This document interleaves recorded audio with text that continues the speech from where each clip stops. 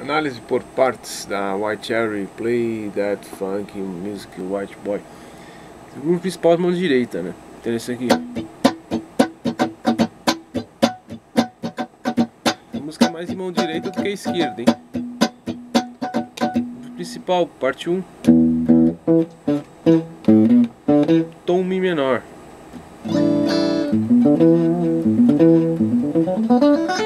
nessa aqui, pensando em shape.